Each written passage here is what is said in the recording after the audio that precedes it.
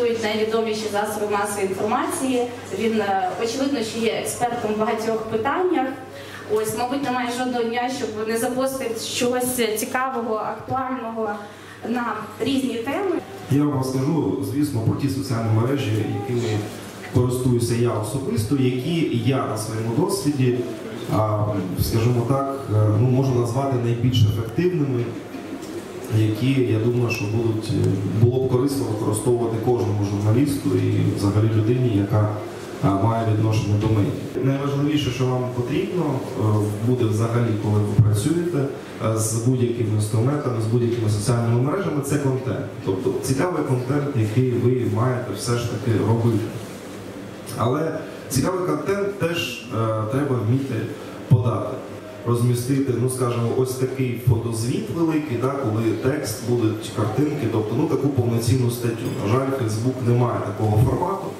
І через це він, звісно, незручний для того, щоб, наприклад, записати туди велику статтю, доводиться ось завести таке альтернативну таку платформу, щоб там такі тексти зберігати великі, а вже е, потім я просто беру посилання на ці тексти свої і викладаю на Facebook. А дуже дуже проста конструкція. Чому так я вирішив робити?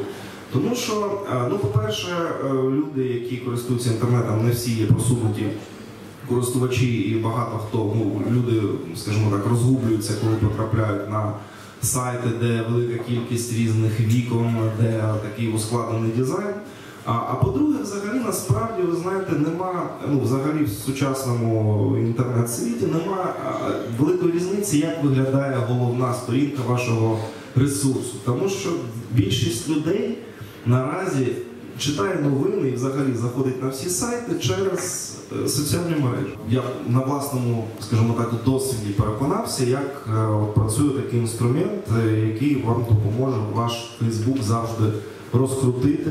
А якщо навіть, скажімо так, ну вам важко е, щось, е, скажімо так, ну постійно писати, постійно генерувати якийсь новий контент, це, е, наприклад, відео, да, прямі ефіри.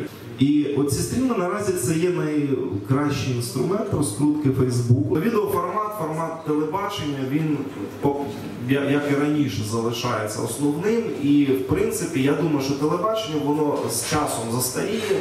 І люди будуть, вони в принципі вже відмовляються поступово від телебачення, особливо молодь.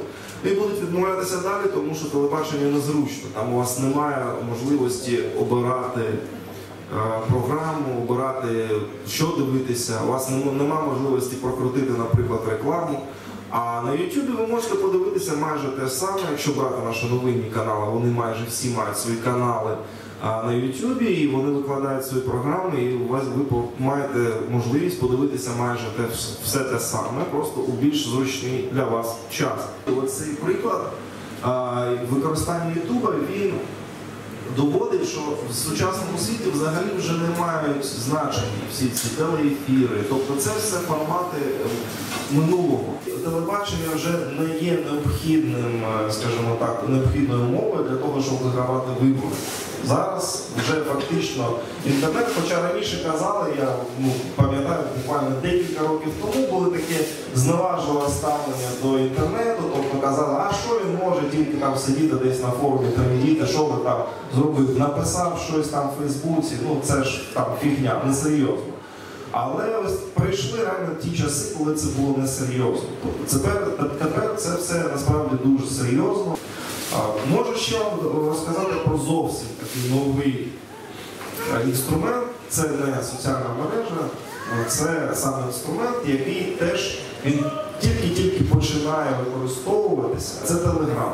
Це месенджер, який взагалі існує для того, щоб так само переписуватися якимось е, повідомленнями з мобільного телефону, так як WhatsApp, Viber, пост в Фейсбуці. Дуже легко пропустити. Якщо ваш е, твіт також швидше за все там може піти в цій стрічці і людина його не побачить, то повідомлення з телеграму бачать майже всі. Тобто, е, якщо у вас у мене там 400 підписників, у мене зазвичай десь приблизно стільки ж і переглядів. От я вам можу навести такий приклад. В Росії є такий там декілька популярних телеграм-каналів, і один з них е, два місяці тому продали його скажімо так, засновник продав цей телеграм-канал за 5 мільйонів російських рублів. Ну це близько 2,5 е, чи 2 мільйони гривень. Тобто це реально величезний ресурс, це великі гроші. А є, окрім того, є біржа, спеціальна біржа в інтернеті для телеграм-каналів. Основа всього в принципі, будь, будь-чого, да, і ваших блогів на YouTube, і ваших блогів на Фейсбуці, основа популярності це просто оригінальний контент. Тобто а, цікавий контент, який буде цікавити людей.